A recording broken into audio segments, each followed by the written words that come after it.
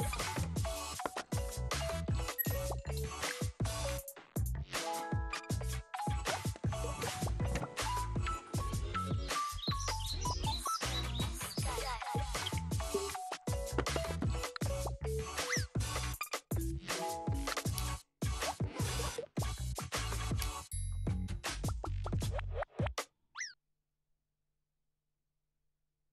Үзэгч та бүхэн дахин өглөөний мэндийг хүргэе. За студийн зочны хойморт шинэ одоо тийм ээ эрх хүндтэй зочноо урьснаар нэвтрүүлэг үргэлжлэн хүрэх гэж байна. Тэгэхээр энэ өглөө бидний урилгаар студид хүүхдэмч сайн жаргал эмч хүрэлцээрсэн байна. За өглөөний мэндийг хүргэе. За өглөөний мэнд хүргэе. За бүгдээнд нь энэ өдрийн мэндийг хүргэе. За нэвтрүүлгийн уламжлал ясаар таныг хамтдаа сайхан кофегоор дайлъя. За та бүхэн хувьд одоо өмнөх дугаард тийм ээ төр одоо вегийн төрлийн витаминууд амин дэм за хүүхдэд өгснөөрөө тийм ээ өсөлт хөгжилт за ой ухаан болон дархлаанд нь хэрхэн нөлөөлдөг гэсэн талаар бас мэдээллийг хүргэсэн. Үргэлжлүүлээд өнөөдөр ямар мэдээллийг хүргэх үү? За мөн төрөлт одоо нэлийн залуучжээ гэж байгаа. Төрсний дараах ээжүүдэд болон жирэмсэн ээжүүдэд ямар хэрэгтэй витаминууд байна гэсэн талаар бас үргэлжлүүлээд ярихыг хүслээ. За би намаа хүүхдийн сайн жаргал гэдэг. За би өнөөдөр нөгөө нэг яах чинь нөхөр манах нөгөө Америкийн Forever компанид би өөрөө Forever-ийн нөгөө бизнес өмчлөгч болж ажиллаж байгаа. За тэгэнгუთ нөгөө эмч хүний хувьд нэгдүгürt яг гэвэл бараа бүтээгдэхүүнийг сонгох тийм ээ хүнд эрүүл мэндийн бүтээгдэхүүн зөвлөхдөө юуг анхаарсан бэ? Нэгдүгээр клиник судалгаа байна уугүй. Хоёрдугаарт энэ бүтээгдэхүүн нь хэр найдвартай компанид үйлдвэрлэгдэж байгаа юм бэ гэд.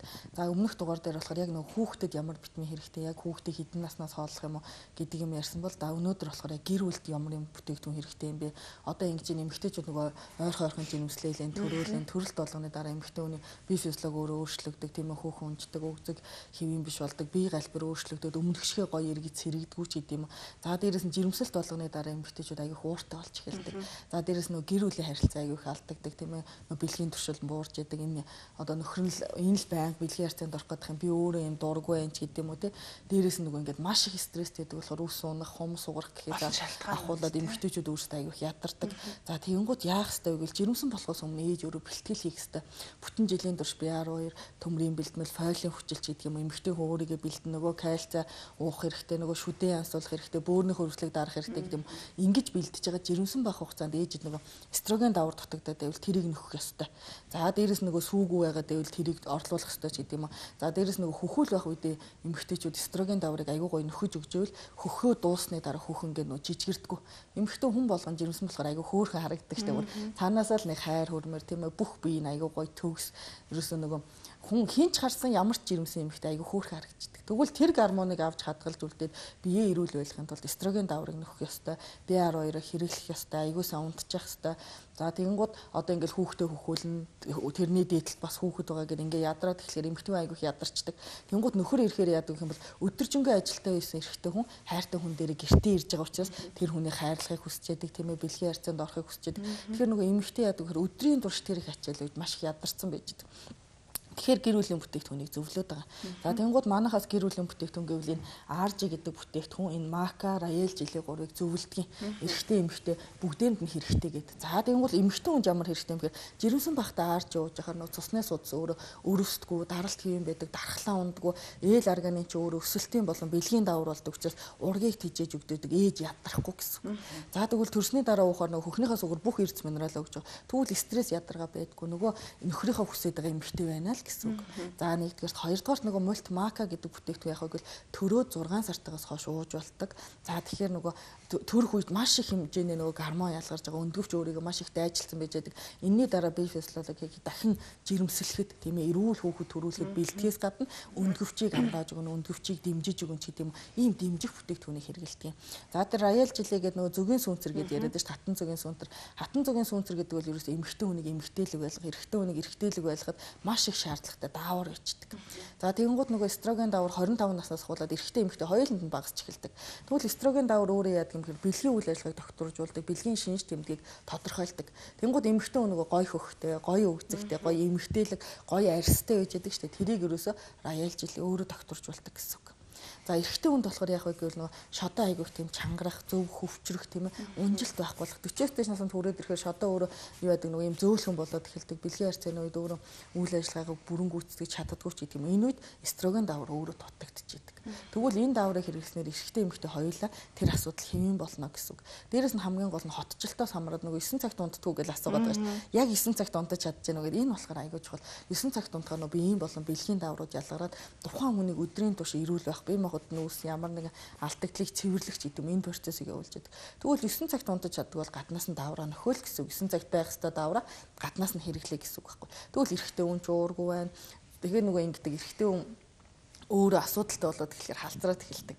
Дээрээс нь хөвлийн булч өөрөө сулраад эхэлдэг. Төчөөс дэснээс нь дөрөвдөө үс уналт үсээд эхэлдэг. Яагаад вэ гэвэл үрийн шингэнд кальц, калий, магний, селен гэд аягүй олон төрлийн эрдэс минерал ичдэг. Тэгвэл эрэгтэй хүн тэрийг нөхгүй нь шүү дээ 25-нд бэлгийн харьцаанд орж эхлээс хойш тэрийг тодорхой хэмжээгээр нөхгүй яваалахаар бие дутагдаад эхэлдэг. Тэгвэл тэд нар яа гэхээр өсний ургалтыг багасгаж яадаг. Нөх хөвлийн булчингийн нөх эрэгтэйлэг болгох, булчинлаг болгох, булчин масыг том байлгаж яадаг, процесс алдагдж яадаг. Тэгээд эхлэхээр ерөөсө гэр бүлэрээ одоо яг бид нар ингээд сүүлийн хичнээн сар ингээд хүмүүст хэрэглүүлээл үр дүнгийн үзэл манай энэ бүтээгдэхүүн чүр 11 жил Монголд үйл ажиллагаа явуулаад эхэлсэн хүмүүс хэрэглээс сурцсан.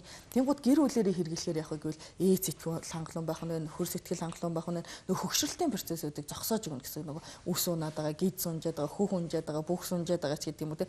Эднэр ингээд хэвэн болоод ирэхээр гэр бүлийн харьцаа гоё болно. Аав ээж хоёр хоорондоо маш сайхан харилцаатай байл хүүхдүүд харилцаа хэвэн болно те.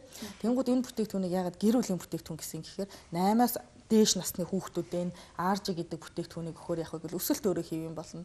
Эрэгтэй бол эрэгтэйлэг, эмэгтэй бол эмэгтэйлэг болно. Булчин масыг дэмжиж өгнө. Ядрахгүй стресстэй хэлж өгнө гэсэн. Тэгээ нөө архаг нойргуудлын уюудыг хэвэн болгож өгдөг. Одоо тэр мака ч гормон дутагдаад ирэхээр хүн мунтаж чадхаа очиж байхгүй. Шүн ойрхон ойрхон сэрэл, сэвэлзээл тийм ээ тайван биш болоод айгүй ууртай болоод ямар ч юмыг ирүүлэр харахаа очдөг. Байнга л ууралж идэг шиг тийм. Тэгэхээр энэ макагаа уугаад ирэхээр айгүй ирүүл болно. Мака ч өөрөө юу гэхээр перу уулын хүн орхоод нөгөө маш үнэтэй хамгийн дээд зэргийн хүн ороход эрүүл мэндийн ургамлуутай хамт хийсэн учраас урьдсан сэргийлэлээр хэрэгжилж болно гэсэн. Дан ургамлын гаралтай учраас одоо нөгөө бид нөгөө ихтэн гэж ойлголт байхгүй байхгүй юу? Тийм учраас хэвийн дооцор хэрэгжилж болно гэсэн үг.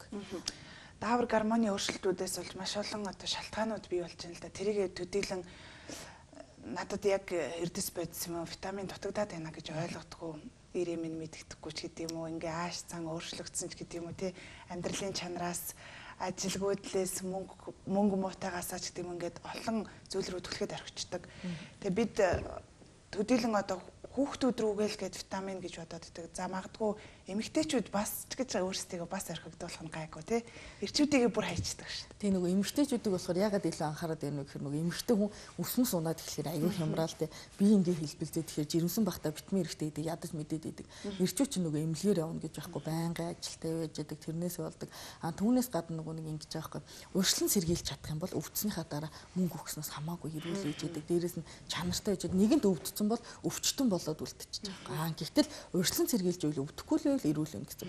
Янгууд хөгжингөө орнуудад одоо энэ роял жилийн болохоор аягүй үнэтэй зарагдж идэг нэгдүгээр а хоёрдугаарт хүн болгон хэрглэж идэг. 25-наас хүрсэн л бол 25-наас хүрэхээр тэртээ тэргүй бие физиологоос нөгөө эстроген давар алдагдаад дээ. Эстроген давар өөрөө яадаг гэхээр 400 гаруй төрлийн үйлчлэгээ үзүүлдэг. Тэр дотроос хамгийн чухал нөгөө нэг нурууны ясыг өөрөө хэвийн бат бөх байлгаж яадаг. Ясны эрцгийг докторжуулж яадаг. Тэнгууд хүн хөгшөрхөөр жижигрээд идэг шүү дээ. Тэр тусмаа эмэгтэйчүүд аягүй хурдан жижигэрдэг.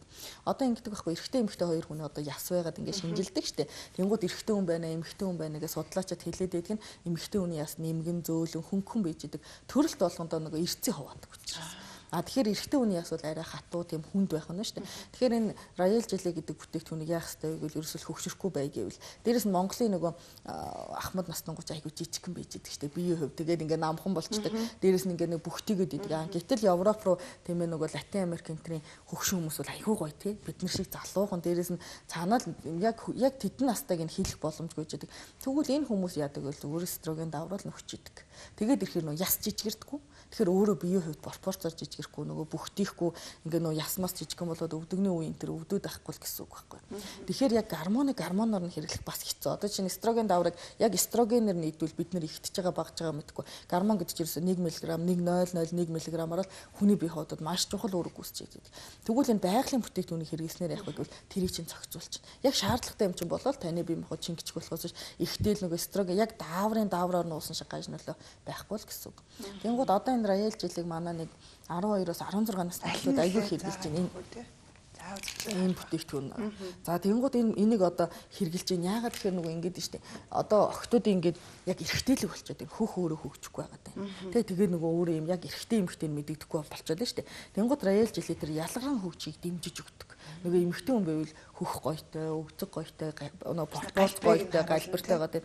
Тэгээ эстроген даавар өөрөө дутагдахаар эмэгтэйчүүдийн гормоны таргалт гэдэг юм ихсэж яадаг нөгөө андроген даавар бие махбодод ихсээд эхлэхээр нөгөө галпи томордог, хевли томордог, энэ бугалгнууд томордог гэдэг юм. Ингээд гормоны таргалт ихсэж яадаг. Тэгэнгუთ өө би эхнийхээ төрөлтөн дээрээ зүгээрээсэн хоёр дахь төрөлт дээр ингээд таргалчаа зогсохгүй байгаа. Яг ийм байгаад байгаа тий. Тэгэл ингээд ерөөсө турдгуу одоо ус уусна ш таргалаад идэг гэл олон хүүхнүүд идэг шүү. Би ч гэсэн өөрөө 115 тийм. Одоо болохоор нэлээд сайн багасч байгаа. Тэгэнгүүт тэрийг юуны буруу гэдэг ихэр төрхөөр л ингэдэг. Тийм. За тэгэнгүүт төрөлтөөд дээрээс нь хөхөн цүү орохгүй байсараад их хуурай идэх юм эцэн дээр А гэтэл нөгөө эстроген даавар хэвийн байж бол хөхнөөс өөрөө хэвийн орно. Юм эзэн идээгүй хэвийн үүсэх байхгүй юу. Тийм учраас бид нар нөгөө тэр үе даавар хэрэгтэй байна. Витамин уух хэрэгтэй байна гэдгийг мдэггүйгээсээ бид нар яадаг гэхээр маш хэмжээгээр идэж эхэлдэг. Тэгээ тэрийгээ сүү болгож хувиргаж ингээд өөртөө жингийн илүүдэлд ороод ирэхээр турхад айгүй хэцүү болчихдог. Одоо фитнес явах, йог хийх гэхээр бие махбодын хувьд дээрээс нь цаг завын хувьд айгүй хэцүү болдог те. Одоо харин хүмүүс айгүй гоё болчих. Өглөө болохоор нөгөө фитнест явбал йога хичээлээ ингээ өөртөө айгүй анхаардаг болчих. Тийм учраас энэ бүтээгдэхүүн түүнүүдийг бид нар залуу хүн байхдаа гоё байхдаа хэрглэж эхлүүл мөнхийн залуу усыг авч үлднэ л гэсэн үг. Олон шалтгаанууд бий болохоос өмнө тийм болохоос өмнө нэгэнт болчвол нэгэнт айштай болсон хүн бүх хүнтэй муухай ажилласныхаа дараа гинт сайхан ажил өөртөө ч гэсэн юм. Тийм учраас нөгөө баг дээр нь тийм нэгэнт нэгэл нөгөө эргэн тойрныхаа хүмүүсийг өөрөөсөө холдуулахаас өмнө хэрэглэх хэрэгтэй гэсэн. Тэгэхээр яг энэ урд тавигдсан байгаа бүтээгдэхүүнүүд бол гэр бүлэрээ хэрэглэх боломжтой. Тэгээ хідээс хідэн нас хүртэл нэг наснаас ахуулаад бүх хүн хэрглэж болно. Ээж өөрөө хэрглэж яхад одоо жишээ нь тэр B12 витамин C2-ыг болохоор бид нэр яадаг юм бол хүүхдээ утасны донд хэргэлдэг. Одоо ингээ хүүхдүүд утас тоглоод донтоод ингээл ерөөсө бие татаж авч чадахгүй маш их ааштай болоод дээ. Тэнгүү тэрийг нөгөө донтолтын процессыг саатуулдаг юм чи өөрөө витамин C ихгүй юу. Нөгөө донтолтын төв дээр нөгөө дофамин, серотонин гэдэг олон төрлийн даавар ялгарч идэг. Тэд нар өөрсдөө хоорондоо нийлэх үү, салах уу гэдгийг зохицуулдаг юм бол өөрөө витамин C үйж идэг. За нэгдүгээр хоёрдугаар болохоор витамин C-г яагаад өнөөдөр авчирсан бэ гэхээр утаа маш их байна. Энэ утаа юунд юунд хамгийн их орж ийн гэхээр уушгинд орж ийн. Тэнгууд энэ айгүй их тийм нанг шороо байдаг шүү дээ. Одоо нөгөө нүүрсний жижиг жижиг шороонууд айгүй гараал явахаар нөгөө айлын цонх гэр орно гэж битүү шороо байгаа шүү дээ. Тортог байгаа. Тийм энэ шороо болгоо нөгөө нэг хамраар ороод амьсгалаар ороод бие махбодод үлдчихэл байгаа. Энийг судасны ханд нөгөө наалдаж үлдэхээс сэргийлдэг юм чи витамин С. Витамин С өөрөө бие махбодод ингэдэг орж ирлээ хадгалагддаггүй. Тэгэхээр нөгөө витамин С ихтэн гэж байдаггүй. А гэтэл сая коронагийн үеэр инглиш тэ нөгөө 500 мг-тай 1000 мг-тай витамин С айгүй өндөр дозоор өгсөн. Энэ нь өөрөө буцаад нойр улчрахыг өрөвсүүлдэг. Өндөр дозтой витамин С уула нойр улчрах өөр өрөвсөж идэг гэсэн үг. Тийм учраас бид нар яах ёстой вэ гэвэл витамин С-г нөө доозыг хувааж явах ёстой. Хичнээн мянгаыг бичсэн ч гэсэн өдөртөө 3 хуваагаад ч юм уу. Эсвэл нэг 2 цагийн зайтай 3 хуваагаад ч юм ингэж уужааш нойр улчрах өөр өрөвсдөггүй. Тэр өндөр витамин С нойр улчрахыг бас задрал нэлээд нөлөөлж идэг гэсэн.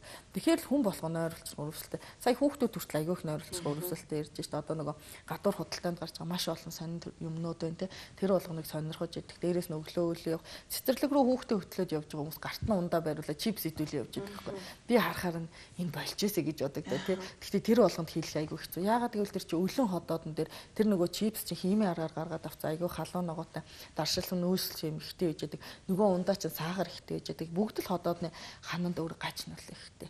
Энийний оронд бид нөр өглөө усаад нөгөө махны шүл чанаа тийм ээ. Нэг 50-аас 100 г шүл уулгал хүүхэд цус багталтай болохгүй. Дээрээс нь тухайн хүүхэд өдөржингөө хоолны рефлекс хэвэн байна, нойр хэвэн байж гэдэг юм. Ингээд эргээ дараагийн юм идэх боломжийг олгож идэг гэсэн үг. Өмнөх дугаар дээрээ та өглөө 7 цагт хооллох ёстой гэдгийг хэлснээс хойш маш их бодож байгаа. Бид өөрсдөө алдаа гаргад юм байна. Тэг хүүхдүүд мэдээж жоох хүүхэд 7 цагт босоод хооллоно гэдгийг дээл ойлгохгүй. Тэгэхээр ээж аауд л энэ дээр маш сайн анхаарч ээж эрүүл хүнийг бас бэлдэж бий болгох, өсгөж тарниулах Тэнгууд нөгөө манайхан ингэж идэг байхгүй. Одоо нөгөө өглөө бид нар ингээл 7 цагт хүүхдээ хоол игээд өгөө сургачвал тэр хүн бүх насан туршдаа л тэгж идэх гээд идэг. Тэнгууд тэдний гэрүүл тэгж тогтно. Тэнгууд эрүүл байгаад эхэлдэг.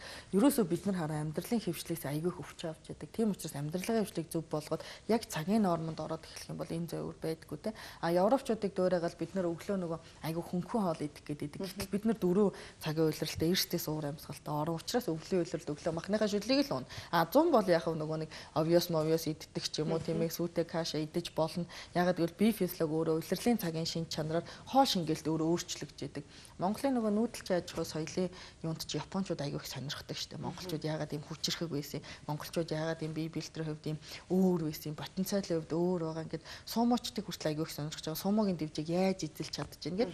Тэгээ тэр үед нэг хийгдсэн судалгаа гэдэг монголчуудад гидсэн дотор энэ сүүн хүчлийн бактери гэдэг юм аягүй өндөр байдаг юм байна. Сүүний хэрэглэх юм байна. Эдгээр чинь ерөөсө төрсэн цагаас авахуулаад байнга айраг уудаг хүмүүс юм байна. Гүүний сааман тэр ашигтай бактери гэдэг юм өндөр байдаг юм байна гэдэг ингээ монголчуудыг судлахад ерөөсө хоол хүнсээр ирүүлвэж чадсан, хоолыг зөв цагт зөв эзнээр ирүүлвэж чадсан тий. Зөний уйлралдаан цагаа идэл хавар намартаа борцоо идэл шин махыг төрсний дараа ч юм уу гэдэг тий. Өвөл бол дандаа мах иддэг тийм үү, идэж иддэг.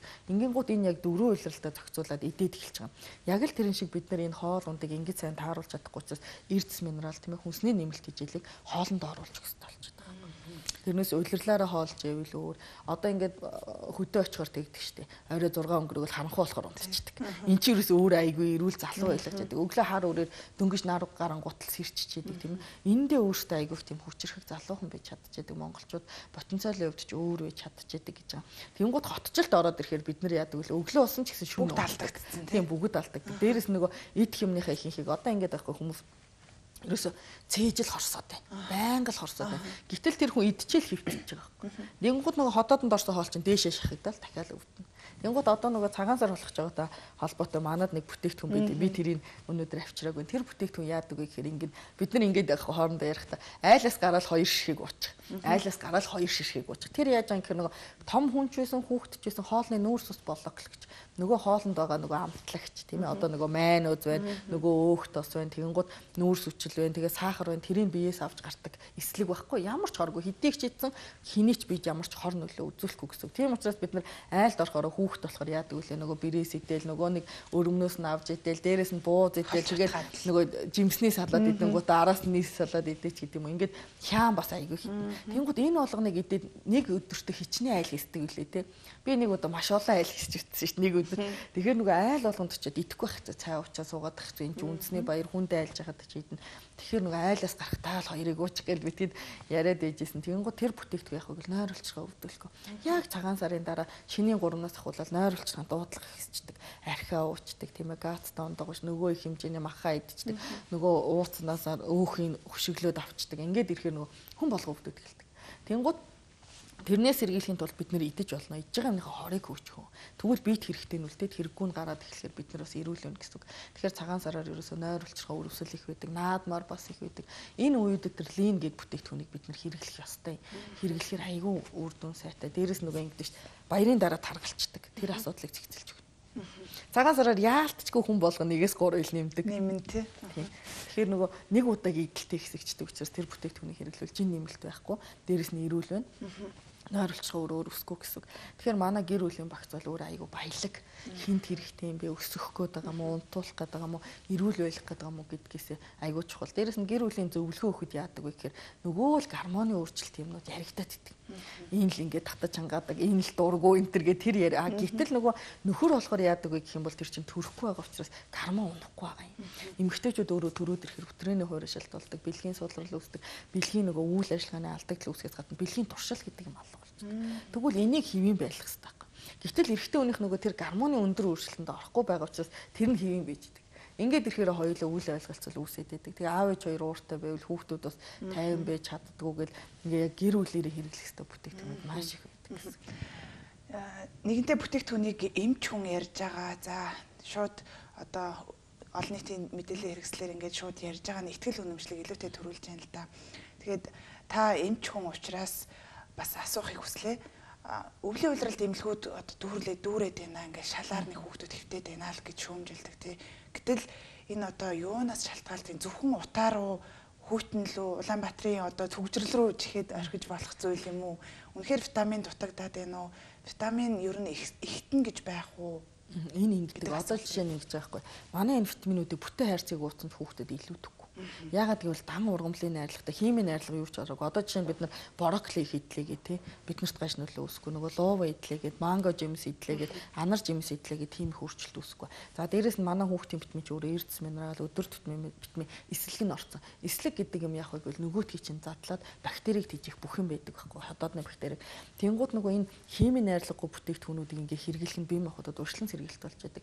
За дээрэс нь хүүхдүүд ягаад байнга өвдөд юм гэхээр аав ээж завгүй өөртөө харж чадахгүй өглөө хооллож чадахгүй өдөр цагаар хоолж чадахгүй өсөлтөнд нь таарсан эрдэс минералыг өгч чадахгүй.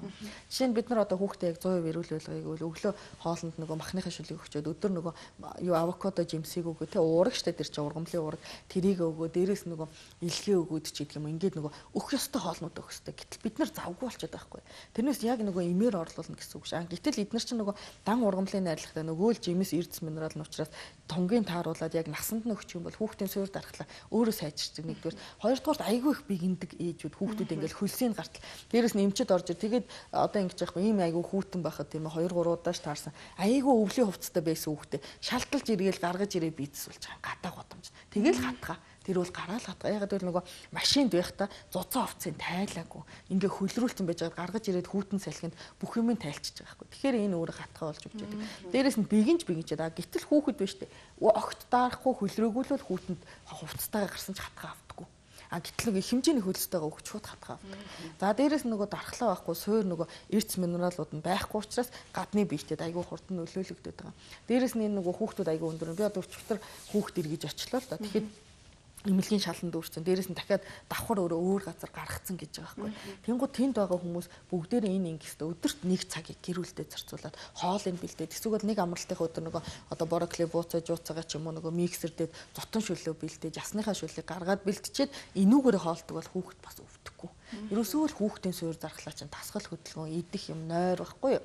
Тэнгууд одоо хүүхдийг өдөрт 30 минут итэвхтэй дасгал хийлэг гэж байгаа. Гэтэл бид нар цэцэрлэгт авиж өгтөө машинаар авиж өгч оруулчаа буцааж аваад гэрт навчаад тавьчихдаг. Гэрийн тэр квадратад хизээж хүүхдийн нөгөө ядаргаа тайлталч гэдэг юм уу ясны хөлс гартал дасгал хөдөлгөөн хийхгүй. Тийм учраас нөгөө хүүхдийг сүнайлгадаг юм уу давсан дээр гიშгүүлдэг юм уу сууж босгодог юм уу дасгалыг хийгээд гэр бүлэрээ хийгээд хөвчвөл тухайн хүүхэд өөрийн суурь дархлаа гэдэг юм хөгжиж Ингэж чадахгүй байгаа болохоор хотчлтын өвчин гээд хүүхэд болгон тунай муутай цус багталтай эрэгтэй эмэгтэй мэддэггүй туранхай жижигхэн тийм ийм болоод байна. Гэтэл энэ хүүхдүүдийг эрүүл байлгыг бол бид нар хоолоо зөөхөн байна. Өршлөн сэргийлэхээр хүнсний нэмэлт хичээлүүд өөхөн байна. Дасгал хөдөлгөөнийг хийлгээд нөгөө 9 цагтаа л унтбол. Ерөөсө 9 цагт унтна гэдэг бол ерөөсө ямар ч ийм тангаас илүү Хүүхдийн бүр яг ингээл андашгүй хүүхэд айгу сэргэлэн болж байдаг, ухаантай болж байдаг, асуух юм нүртэл өөрчлөгдөж байдаг. Яг нэг сар ажиглаад үзвэл бүр айгу сайн нөлөөлж байдаг. Гэтэл бид нар завгүй хүмүүс шүү дээ. Өглөө гараад орой ирдэг. Орой ирэхэд хүүхэд унтцсан байдаг. Өглөө унтаагаар нь чирж авч цэцэрлэгт өгчөөд нөө чи яаснаа сайн уу маань уу ч ярих зав байхгүй л амьдарч байдаг. Гэтэл эннээсээ болоод нөө хүүхдээ ядарч гэнэ, сулдж гэнэ, цус багталт үүсч гэнэ. Энэ нөхөр ер нь сонирхол нь буурч гэнэ гэж мэддэг. Хүүхэд айгу хөөрхөн тоглодог байж байгаа л тоглоом хайчдаг. Энэ сонирхол буурахтай биш ятраад байгаа байхгүй. Тэрийг дахиж тоглох чадвар нь байхгүй тийм өдрийнхээ стресс ачааллыг даахгүй байна л гэсэн. Тэгэхээр бид нар тэрийг ажиглдаг. Энэ тоглоом хуучирч гэдэг нэг дахиад нэг тоглоом авахгүй байдаг. Аа гэтэл нөгөө хүүхдээ тоглож чадж гэнэ үгүй өөртөө ингээд чөлөөтэй байж чадж гэнэ үгүй гэдгийг л аюулсаа харах хэрэгтэй болчиход байгаа. Сайн хооллон гэхээр нөгөө маханд ногоонд дургуулад шүү дээ хүүхдүүд Харин тийм тэгэхээр энэ юутай холбоотой? Энэ нөгөө ингэж байхгүй хүүхд багтна өгдөггүйсэнтэй холбоотой. Дээрэс нь одоо ингэж байгаа. Жишээ нь одоо би хүүхдийг 9 цагт брокколи өгөөгөө айгүй хурц амттай ийм төмөр амтдаг дэддэг учраас идэхгүй. Гэтэл тэр нөхрийг 7 цагт хоолцохоор нөгөө амтлах үнэрлэх мэдэр хүнөөс сэрж амж өгөх үед хоолцохоор тэр дараа нь зүгээр л идчихнэ нэмэлт хоолнд оруулахдаа энэ бүтээгдэхүүнүүдийг бас хүнсэнд нь хэрэгэлдэг байхгүй хүмүүс. Нөгөө брокколигоо өгдөг, хулуугаа өгдөг, бууд ерөөсө бантан бантан гурилтай шил, бантан гурилтай шил каш гэж хоолсоор хагаад хоолнд орохоор хүүхэд идэт сураг юм хизээч идэхгүй.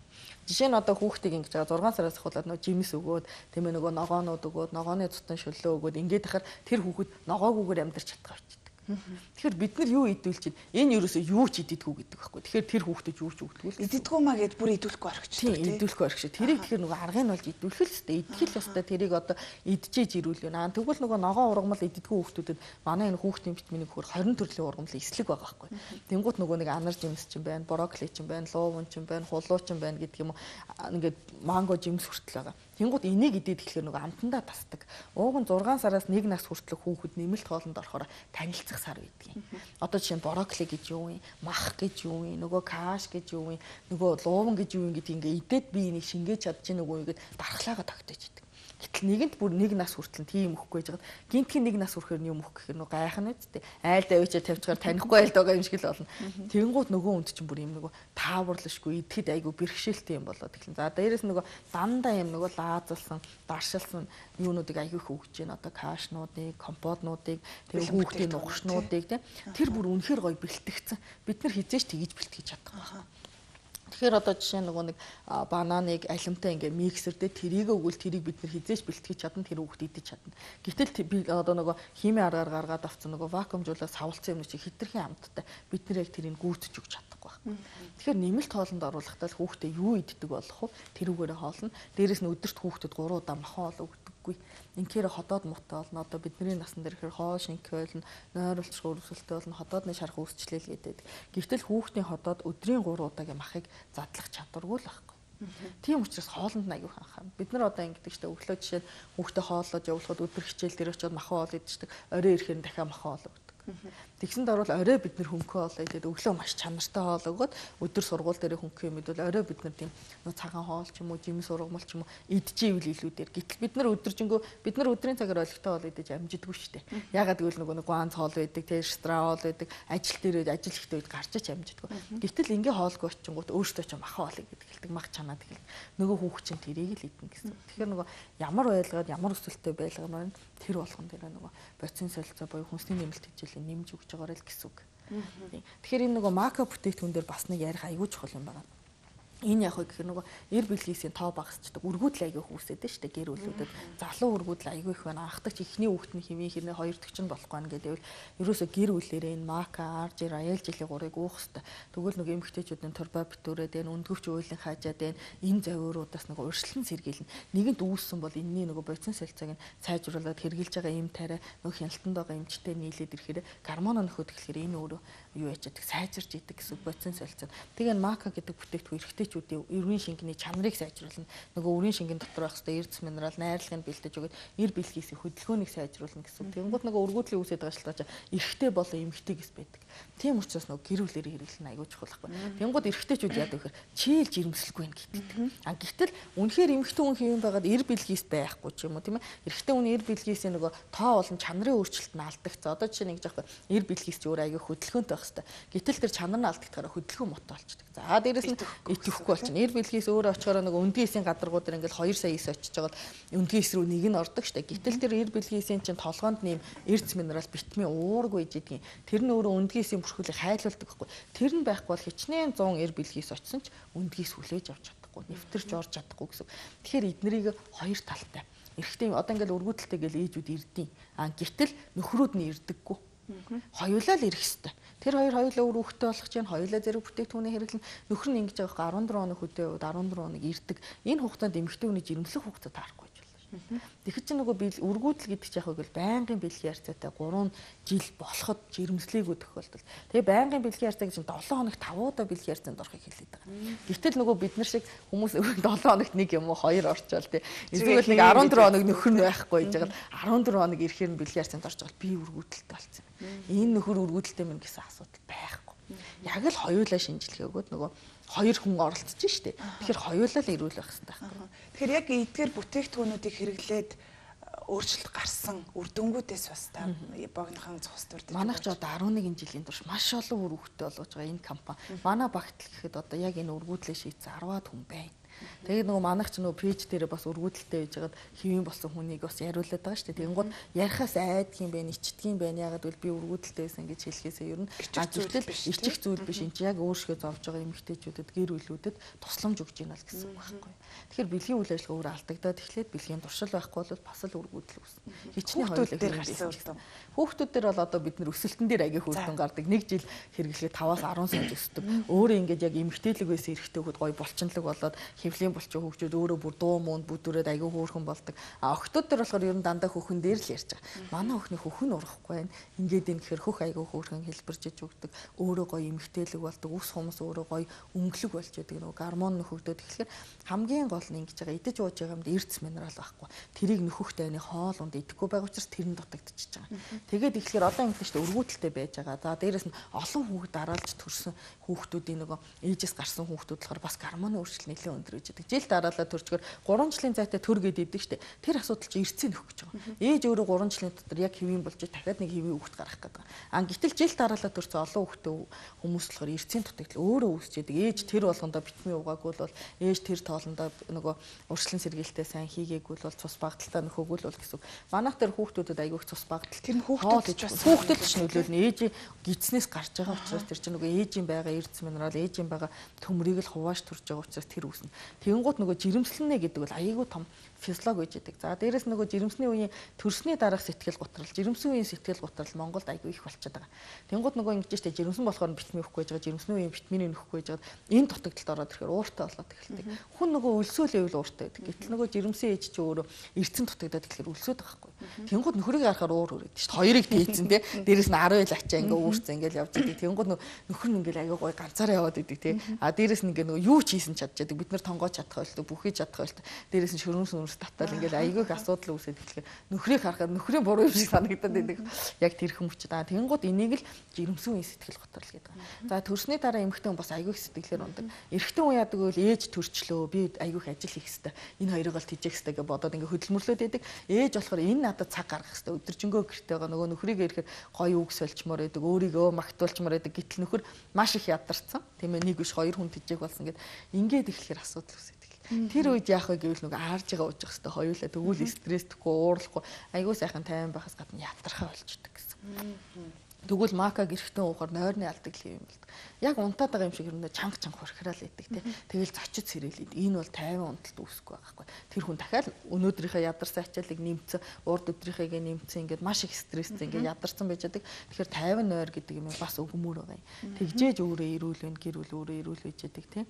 Тэнгууд ингээд маш олон төрлийн юмнууд байж байдаг. За нэвтрүүлэг дуусах хугацаа болсныг найруулагч сануулж байна. Тэгээд та энэ бүтээгдэхүүнээ нэг нэгээр нь заяг нэршлэр нэрийг нь дуртаад дуртаад өгөөч. Хоёлаа сая нэрлээд ярьчихсан аль нь юм бол гэж бодож байгаа хэ үзэгчд. За энэ болохоор нөгөө нэг RJ гэх бүтээгдэхүүн. Энэ болохоор 8-аас дээш насны хүүхд өсөлтийн даавар болно. 25 наснаас дээш хүмүүс болохоор дархлаа сайжруулна, цусан доторх холестерин бууруулна, даралт докторжуулна. Гол нь өөрөө ядаргаа тайлж өгч яадаг. Ээл арганы чинь нөгөө залуужуулдаг бүтээгдэхүүн гэсэн.